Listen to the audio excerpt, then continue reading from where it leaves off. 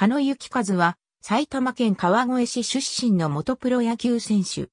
中学生時代に公式野球の武蔵狭山ボーイズでプレーしていたが、控えに甘んじていた。川越工業高等学校への進学後は、主に2番遊撃手として起用されたが、対外試合では本塁打を1本も放てなかった。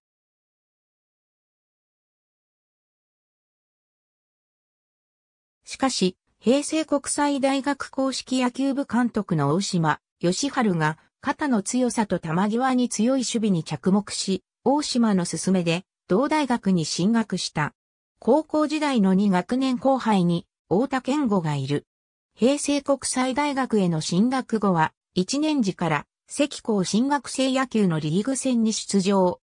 2年春の対策進学院大学戦で1イニングに本塁打を含む1試合3本塁打9打点のリーグ新記録を達成すると、3年の春季には打率378に本塁打14打点という好成績で最多打点のタイトルを獲得した。首相に就任した4年時には春季リーグ戦で打撃に苦しみながらも出場13試合でリーグ最多の7盗塁をマーク。守備面でも2年秋、3年秋に遊撃手としてベストナインに選ばれた。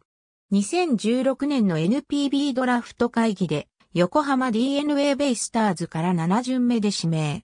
契約金2700万円、年俸700万円という条件で入団した。この会議で指名された選手では最も早い仮、契約で、背番号は36で、武蔵狭山ボーイズ出身者では、初めてのプロ野球選手でもある。2019年4月22日2017年には、イースタンリーグ公式戦63試合に出場したが、打率134、1本塁打にとどまった。2018年には、イースタンリーグ公式戦68試合の出場で、打率199をマーク。本塁打を放てなかったが、シーズンの終了後には、台湾で開催のアジアウィンターリーグに参加した。イースタンリーグに加盟する DNA の選手でありながら、チームメイトの田村城、山本雄大、桃瀬大輝、宮本秀明や、コーチとして派遣された二軍コーチの長池康夫と共に、ウエスタンリーグの選抜チームへ組み込まれた。2019年には、イースタンリーグ公式戦79試合に出場したが、打率188、1本塁打でシーズンを終了。球団からの戦力外通告を経て、10月3日に現役引退を表明した。